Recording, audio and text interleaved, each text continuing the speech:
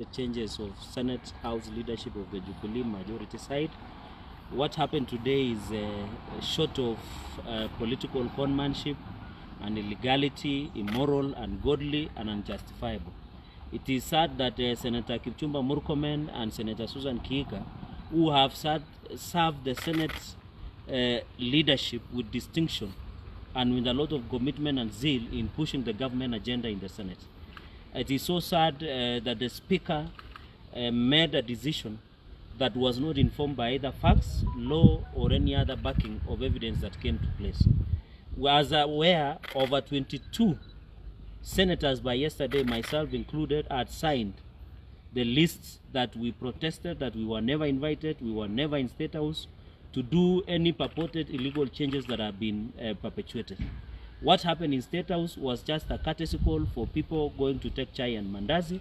But I, what I want to say, even as the people plan and removed illegally, ungodly, unjustifiable, the Senator Kipchumba Murkomen, leader of majority, Senator Susan Kiiga, uh, the chief whip of our majority party, they should know that it, the, the, the, the, the battle lines are now drawn. And I want to assure them that uh, the Senator, Senator Kipchumba Murkomen, Senator Susan Kihika, there is no government business that has failed, that has not succeeded, that has not been passed, and therefore it is so sad that the Jubilee Party and the president himself, President Uhuru Kenyatta, we voted 2013, we voted twice in 2017, to sit down and plan on eating its own children. It is very illegal and it is immoral to sit down and plan war and unfair targeting against your members. Secondly, the Senate Standing Order number 19 and 20, and even the Jubilee Constitution, even the Constitution of Kenya, the illegality that was committed is a threat not only to the Jubilee uh, leadership party that was removed, but a threat to democracy in this country. We should allow democracy to thrive. And the removal of the two senators is unfair, is unconstitutional, is illegal, is immoral, and ungodly. And uh, yesterday I said, and I want to challenge President Uhuru Kenyatta, instead of shadow boxing and fighting small people and fighting unnecessary wars. Yet the floods, the mudslides, the corona pandemic is ravaging the country. The honorable th- thing that President Uhuru Kenyatta should do is call the Minister for Public Service Commission, call the speakers of both houses, call the parliament leadership, and any other entity of government, prepare a big list of all friends and allies of Dr. William Samoei Kipchirchir Arab Ruto across the country and fire them once and for all. And then he can now go back into the big four agenda. And that is why some of us who are chairmen in the committees in the Senate and other parliamentary committees, we are there not because by accident, we are there because on, on the capability, abilities, and the belief of the party that we did the right thing. And therefore, I want to ask the president, let us stop this so that we can go back, just fire all these people you imagine are allies and what have you. And even this merger of coalition of parties is an illegality in itself. The Jubilee Constitution does not support. The Political Parties Act, the Elections Act is very clear on the process on how you can do coalition, either pre-election coalition or post-election coalition. And therefore, the, the, the, we don't want the president and it is so sad, two years down the line, the only legacy of Jubilee Party, the only legacy of President Uhuru Kenyatta's administration has only been the infighting within Jubilee. And it is sad that him as a party leader has been the convener, the strategist, and the executor of the fight in the Jubilee. And the back and the fight stops within the Jubilee in the party leader. He cannot sit down to fight his own people the way he has done to Senator Kika and Senator Murkomen. Hata hawa ni watoto ya watu, hawa wako na watu yao pia. Ni mbaya serikali ambayo tuliunda, tulisema uhuru tano tena, tulitembea Kenya hii. Wakati watu wa ODM na wanasa walisusia uchaguzi. Sisi hatukulala, wengine hata tulipoteza mabibi wetu, wengine watoto hawakuona ma, ma, ma, ma, baba zao, wengine walifukuzwa manyumbani kama ni, ni wale viongozi ambao ni akina mama, kwa sababu tulikuwa tunatafutia kura Rais Uhuru Kenyatta. Ni inashangaza sana na inashtua yeye mwenyewe kuketi na kupanga kuangamiza wale watu waliomsaidia. Inaonekana kama ulisaidia Uhuru Kenyatta kupata kura mingi, ndio utapewa kipigo, kipigo ya juu zaidi kuliko wale. Na ndio maana nataka nimuulize kwa heshima rais, kama umechoka na umesema wacha wale ambao ni wandani, marafiki, wale ambao ni imagine kutoka taifa letu la Kenya yote, kama ni cabinet, kama ni bunge, kama ni public service, chukua majina yote ya wale unadhania ni marafiki wa naibu wa rais katika taifa letu la Kenya na uwafute kazi mara moja, ndio urudi kuwahudumia Wakenya kupambana na mambo ya mudslide, mambo ya corona, mambo ya yale mengine. Hatutaendelea namna hiyo na hata nimeona watu yake na wale wa propaganda wanasema ati sisi wengine tulikuwa state house, lakini ni mzuri, wametoa list ambaye inaonyesha wale maseneta walienda state house kunywa chai na mandazi. Hata nataka nimuulize wale senate, sijui majority leader na ule minority whip ambao wamechukua vitu wamefurahi, ni wale ambao wamesimama katika kaburi ya watu waliokufa. They don't enjoy confidence of the, of the, of the majority side. Wasifurahi kuwa kwa sababu wamepewa viongozi kwa njia ya kimabafu. Walichukua hiyo uongozi through coup. That was political conmanship.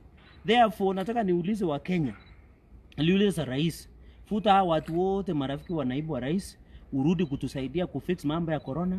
Vijana hawana kazi, wakulima wamepanda, bado wanahitaji top dressing. Saa hii tunapoongea, kuna ufisadi ya kujaribu kuleta zaidi ya milioni nne ya mahindi katika taifa letu la Kenya, na hapa Rift Valley kama ni hapa Nandi, kama ni kule Wazingishu, tunaona kuwa mahindi bado Wakenya wako naye. Hiyo ndio ajenda kubwa ambayo nataka ni niseme, na nataka niseme nimefurahi sana kwa sababu hawa viongozi ambao wametolewa, hakuna siku waliangusha business ya, ya, ya government in the, in the, in the Senate.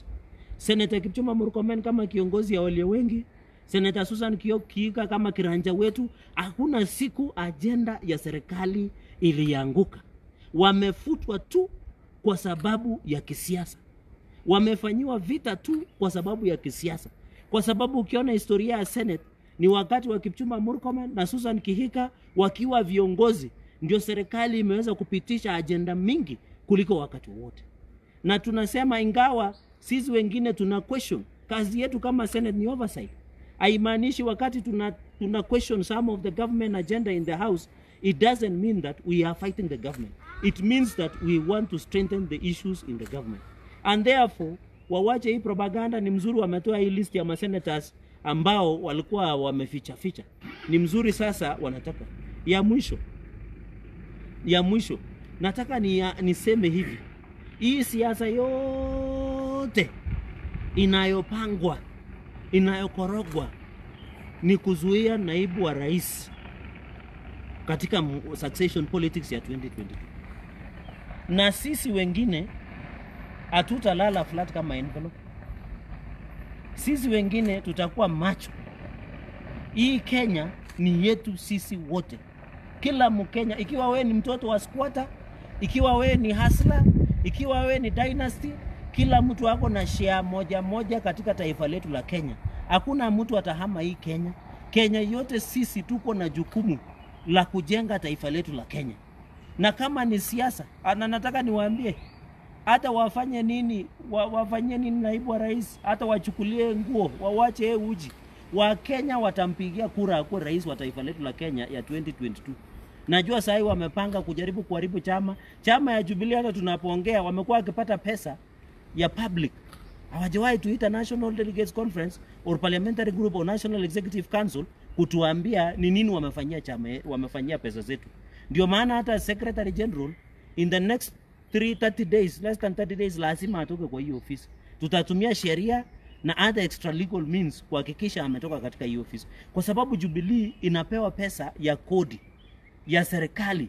Haipewi pesa ya mtu binafsi. Sisi kama wabunge tunalipa elfu kumi kila mwezi kusustain the operations of the party. But it is sad the subscription we were paying as the same subscription and ta taxpayers money yenye walikaa naye chini kutuongoza kutoa viongozi wetu katika seneti. Najua wanaelekea National Assembly, Mwa- wao wajue ya kwamba wafanye lolote, hata wamtoe naibu wa rais wapi, hata wafukuze yeye kwa ofisi, walifukuza yeye kwa nyumba huko Mombasa, wafukuze hata ile nyumba ya official residence, wafanyie wafrustrate naibu wa rais vile wanataka. But one thing I can assure them, the idea whose time has come, no one can stop, kwa sababu naibu wa rais ako na ajenda kubwa ya kuhakikisha Wakenya wanaendelea mbele, and therefore uh, your excellency the president, please stop shadow boxing, fire all of us, finish this business within a stroke of a pen, go back to serving Kenyans, and know that the constitution is very clear. You are serving your second term. Allow Kenyans to move on after 2022. Kenyans, the economy is doing badly.